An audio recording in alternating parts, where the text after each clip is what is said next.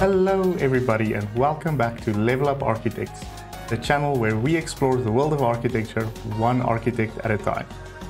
In tonight's live stream we are going to look at um, a couple of projects by an architect named Raj Rewal. But before I get into the uh, meat and bones of the video, I just want to mention a couple of things. Um, first of all, as you can probably hear, we have some music in the background courtesy of YouTube Studio's free library of music. I hope everyone enjoys it. It's just something to um, make the stream a little bit more interesting and hopefully um, fill out the silence a little bit more. Yes. Um, the second thing I want to mention is um, the top five videos was a little bit restricting, so I have decided to change it to uh, and call it a showcase instead. Sometimes I found that um, when I do find an architect that I really, really like, sometimes I find that they don't actually have five projects that I can showcase. So I decided that the top fives is too restricting and that I would change it to um, to showcase, just call it, calling it Level Up Showcase instead. I hope everyone likes it. I might still keep the top five name in the in the description or the label of the video, the name, but the thumbnails will say showcase from now on. And hopefully, yes, it'll open up some doors um, to creating more exciting videos for, for everyone to enjoy. Then the last bit of things that I need to, the last bit of housekeeping I need to do is if you're new to the channel, please subscribe, hit the bell icon. Um, it helps YouTube to notify you um, about when I do go live. So the bell icon is defi definitely useful. If you enjoy the video, please don't hesitate to hit that like button. It helps the channel out quite a lot. And finally, I have a couple of this side. um, I have a couple of social media accounts. Um, please go and follow me on social media, whichever one you choose um, and you, you, are on. That will help me get the information out on the channel to you um, a lot easier. So, yes, let's get into um, the video and talk about Raj Rewal. First of all, if you have any questions about anything I covered today, um, please feel free to pop into the chat and ask. I will check out what's hap happened in chat at the end of the video and try and answer as many questions as I possibly can. The first thing I want to say is thank you to Unias. He actually suggested this architect to me in one of my previous videos and I really appreciate it because it's an architect I never knew about. So in that regard, I love this suggestion because it broadens my own horizons, sorry, and it also helps me to spread information about uh, architects that might be well known to people in other countries, but definitely not well known necessarily around the world. So I like this. Thank you so much, Unias. I am very, very grateful. Um, and the same as Unias, if you do have a suggestion for an architect that you would like to see in one of my upcoming videos, um, please feel free to pop that in the comments or in the live chat. Um, it will be much appreciated and maybe I'll do a video on your selected architect. That would be great. So, let's hop into Raj Rewal.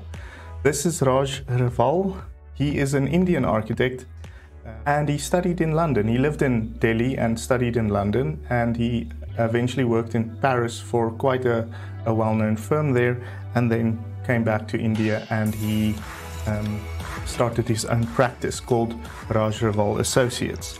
He has been a lecturer at the School of Planning and Architecture um, and also he has done a series of guest lectures lectures around the world.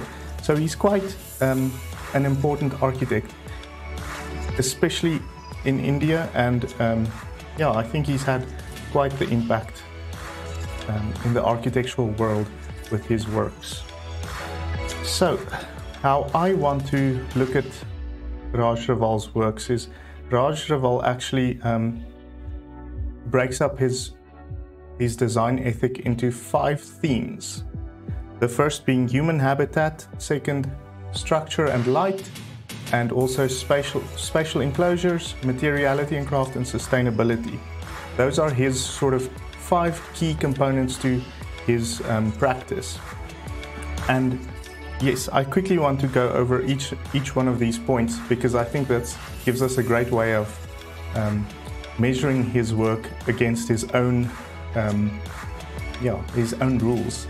Let's see how he, he fares against his own set of rules. So human habitat, to me, it means he has a very deep understanding about the social constructs um, of the societies he um, places his work in.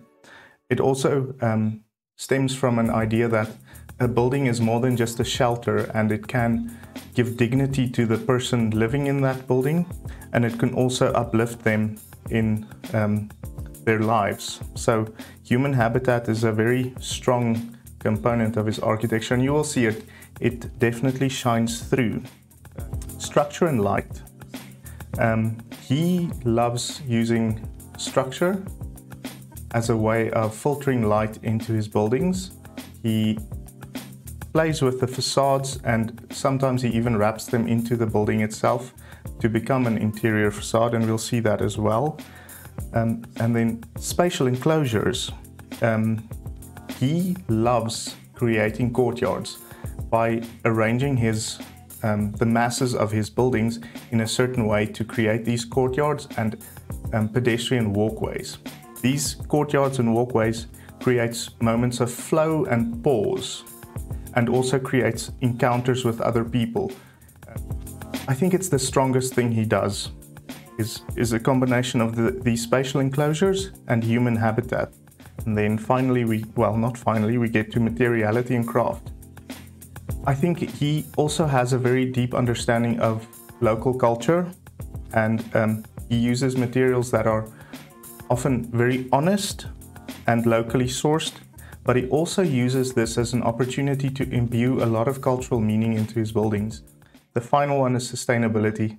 I think it's fairly obvious. Um, he does attempt to root these buildings in place and create buildings that function properly and are properly ventilated and cooled without being overly um, engineered and um, how can I put it without it being dependent on a lot of energy consumption. So yes, I think that in in essence is um, the five themes that we will look at and measure his buildings by and hopefully we can give each building a rating out of five. I think that will be fun. I won't be too harsh, okay? I think this is supposed to be fun and beautiful. Let's quickly jump over to the first project. This is Anjali and Naresh Gur Gujral residence. I apologize, um, especially I apologize to Unias if I do mess up the pronunciation of some of the the words. Um, so, this residence, let's see if we can understand how um, his idea of human habitat um, functions within this um, building. So, he has a nice little slideshow for us to understand how um, the building works. Um, you will automatically, Im well, immediately almost see this idea of a courtyard that's at the very back there, which is his idea of spatial enclosure. You'll also see um, his idea of materiality and craft with what I would imagine is locally crafted bricks as well as um, all the frames for the windows and the doors and the art. It's all um, quite well chosen and well considered. Um, here's a photo of that same courtyard, but just um, a little bit more lush after a bit of time. Um, I think it's quite beautiful, and I think the little pool lends um, a lot to the cooling of the structure. So this will evaporate and create a much cooler environment in the house as a cross breeze goes through the house. Um, I think it's lovely. I, I'm a sucker for a courtyard. I love courtyards in any shape or form, just about. This um, is one of the, I think, back facades, I would imagine. But yes, again, it, it shows that idea of structure. Well, this shows quite well the idea of structure and light. You can see how he uses the floor slabs as a way of creating a deep eave to cast a bit of shadow onto the glazing to avoid direct sunlight and heat gain into the house. Um, so we've covered almost all of them except for, for sustainability. This is another example of these wonderful courtyards that Raj Rewal really creates and I, I can't stress it enough. I love it. It's so beautiful. Um, yes, these courtyards are just amazing. Planted nicely. The sustainability, I think the sustainability can be much more subtle than what's considered green in today's day and age. I think the fact that he uses these deep eaves um, contributes to sustainability, the, the use of local materials, the way he chooses planting in the place. Maybe grass is not the best choice because grass requires a lot of water, but perhaps he has some sort of water collection um, system in place to ensure that the water can, well, the grass can be watered um, all season long. And um, that's again the, the courtyard, the structure, the light with the windows. Here you can see more of those, um, more of the windows in the interior spaces. So wrapping this project up, I think I give this a five out of five, simply because he's hit every point. Um, and I think there's a subtlety and a very considered um, design ethic at play in this house, and I think it's very, very beautiful. Um, let me think. Let me know what you think about this project in the comments. Um, I appreciate it, but I love this house. It's it's absolutely gorgeous. The second project we are going to look at is the CIDCO low-cost housing project. Um, what can I say about this project? When I saw it first, this wasn't the first image I saw of this. Um, it it was more than likely something, it was, I think, this image that I saw first. And I immediately fell in love with this housing scheme. I think it's it's wonderful. Um, the way he creates interstitials courtyards, like you can see in these images, um, is breathtaking. And I think it allows for a lot of social interaction. So if you imagine um, all sorts of different types of families living here. It could be a single person, it could be a, a mother and a child, it could be a couple.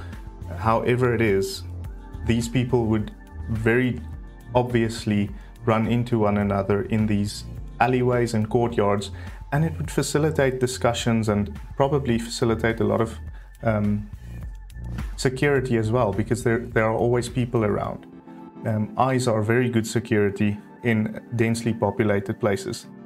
Here you can see how he structures, well, places the, the volumes of his building around a central courtyard. But what you can also start seeing here is how he has developed sort of modules that can stack and arrange in different ways um, and plug into one another to create these spaces. And it's not just about the interior. So let's quickly go over the five points that Raj Rewal gave us. Human, humane habitat, I think big big check on that regard because it's this is low in, in, low cost housing, so it's meant for people who can't really afford anything. I think this is very dignified and very uplifting and has a very strong understanding of the social constructs at play in, I believe, Delhi, India. So yes, structure and light. I think the way he breaks up the individual units creates for a lot of light um, in the habitable spaces inside as well. I think the courtyards become an extension of the interior spaces because a lot of people will, would live outward into the into the courtyards. You can quite clearly see how people stack their plants on that little ledge and how people are congregating around certain points. I think it's lovely. So structure and light, I think the structure is very simple for a reason. It's to keep costs low. Um, So yes, that I think is also a check. Um, spatial enclosure, big, big, big check. he, he, he does this very, very well in this, this scheme. Um, it ha has very clear ideas of pedestrian alleys, walkways, and sort of moments of gathering um, in little courtyards all over the place, including rooftop terraces. So he he spares no he spares no space. All, all of the space is used. Um, if and and I think that's really wonderful. So materiality and craft. Um, you can see quite an austerity to this project where the materials are very humble and um, low cost. And I think that's very honest. He does try to embellish a little bit in places, but I don't think that's a bad thing in this case. I think it's very, very good. And then finally, um, sustainability. I think for the most part, he, he gets the sustainability check mark from me because um, you can quite clearly see the water tanks on top of the roof with sort of um, aerated brickwork around it. No, I, will give it a, a good full-on point because I think the places are well ventilated and well insulated most likely. He's clearly thought of water, he's, he's thought of light um, in the way that these buildings are structured. So yes, check mark. Another five out of five in my opinion for um, the CIDCO housing um, project. It's, it's quite cool. This is the Hall of Nations and the Hall of Industries. Um, it, it was finished in 1972 and it's located in New Delhi. he created a space frame out of concrete. In a previous episode, we the, the episode on um, Shigeru Ban, we spoke about a space frame made out of cardboard tubes. Instead of that, we now have a space frame made of concrete columns and beams, um, which is very heavy and very, very cool.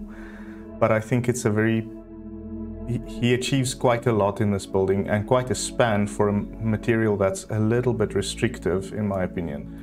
Um, humane habitat, I think this is uplifting in a different way. What these buildings were for back in the day when it was popular to do this sort of um, project was to entice other countries to invest in your country and also to show off what your industry can actually accomplish. So in, in that way, it, uplifts the economy quite a lot. Um, structure and light. I think he nailed that in this project. The structure is exactly that. It is made to filter and allow light into the structure inside um, and it is made to span quite a distance to create an internal space where an exhibition can take place. So yes, spatial enclosure. In this case, he doesn't do, um, create courtyards on the outside of the building, but rather on the inside of the building, which I, I find very refreshing. Even though this is one of his earlier works, you can see that there are um, alleys and spaces to congregate and spaces to flow out. Um, and a large, large exhibition space in the middle um, with all of this um, light pouring in from the um, roof of the building. So I think it's lovely. Here you can see, oh well, he actually does create a courtyard, um, a spatial enclosure with the organization of the components of his building, which I think is great. Um, one of my viewers just told me that this building got demolished, which is very sad, but that quite often happens with these sort of World Fair buildings. They get built, they maybe stand for a couple of years and then they get taken down. So in terms of spatial enclosure, yes, um, Raj Rewal gets this building quite right and he accomplishes creating internal spaces and walkways um, to, to enforce his design aesthetic. Yes, in materiality and craft, um, I think this was a big showcase of what they could accomplish in India, first of all, with concrete, a very humble um, material, and a very difficult material to work with sometimes because the shuttering is, is quite quite tricky. And also, um, so the craftsmanship was was sufficient to be able to accomplish this, and the materiality is is very interesting in terms of the use of a very heavy structure to span such a great distance. So tick box there as well. Sustainability, I'm going to give this project a pass on sustainability simply because this was built way before sustainability became an important thing. So I don't think I will um, minus a point from him on this project and I will also just give it a 5 out of 5 based on his own rules. Yes. This is the Nehru Memorial Pavilion. Hopefully this building is still in existence. I, I, think it's quite beautiful actually. Um, let me get, just get to the, the pictures so that, that everyone can understand what we're looking at. So most of the, the photos are internal spaces, but once you realize where these internal spaces are, you, you, you sort of get this immediate sense of oh wow, it's such a nice hidden gem because it's literally a hidden gem. It's sort of submerged into the ground. So this almost, I almost want to call it a ziggurat or a little a pyramid that's buried into the ground. Um, it's it's it's great. Um, it houses this the, a memorial and it also facilitates a lot of interstitial spaces where people can sit and congregate and gather. In terms of his five um, points, humane habitat, I think inherently this is uplifting because it's a memorial. In terms of structure and light, oh my goodness, I think this is one of his most successful in terms of structure and light. The way he buries the building, but then still allows so much light into the space is beyond genius. It really is beyond genius. Spatial enclosure I find very interesting on this project because you can see there is almost exactly this amphitheater like space is one of those courtyards which he facilitates creates with one of the angles of the pyramid, if I can call it that and you will see below the, the feet of the people there, there's a row of um, I almost want to say glass bricks or it looks like glass bricks at least. And you can see them here. And that allows so much extra light into the space. So spatial enclosure he does it in such a layered and fantastic way that I, I can't yeah I can't go on about this building. It's it's wonderful materiality and craft, I think it's great. Um, it's another concrete building, so I think it's it's a showcase of the craftsmanship at play in India. I think it's a wonderful display of the craftsmanship at hand. And here you can see how he even does the courtyards and spaces in the building itself as well as on top of it. So it's very layered, like I said. And then finally, sustainability. I love how the building is buried and creates for moments of plant growth on the some of the terraces instead of having more seating. Um, yes, sustainability wise, especially when it comes to these types of buildings, I think it's a little bit more appropriate to use something like concrete and steel um, because it's supposed to last for a very, very, very long time. So, again, um, 5 out of 5 the last building I would like to showcase is um, the Lisbon Ismaili Center in Portugal, which was completed in 2000. This to me is probably my favorite um, out of all of them. It's one where he really combines all of his um, themes into one absolutely superb building. Yes, let's start with humane habitat. Um, it's a it's a center, so in essence, I think it's also uplifting and dignifying to the community, especially the, the surrounding community. I think it, it gets a definite check mark on that front. Structure and light. I mean, do I even have to say anything about that? It's so wonderful. How he creates those domes on top of that space frame is phenomenal. That um, curtain wall, which is made of, of concrete um, elements and a, a, sort of an in, internal sheet, sheet of glass, is just beyond gorgeous. Um, it's so, so good. So in terms of structure and light, I don't think he's done anything more successful. If you know of a, a, more successful project than this in terms of structure and light, please let me know because I, I find this to be genius, absolutely genius.